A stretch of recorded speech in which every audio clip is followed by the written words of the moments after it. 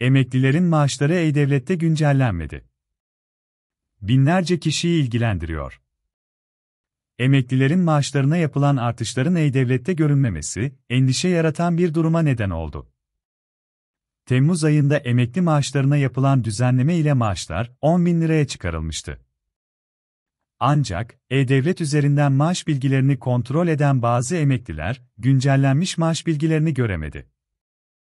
Bu durum, artışın seyyanen yapılmış olmasından ve kök maaşların değiştirilmemiş olmasından kaynaklanıyor olabilir.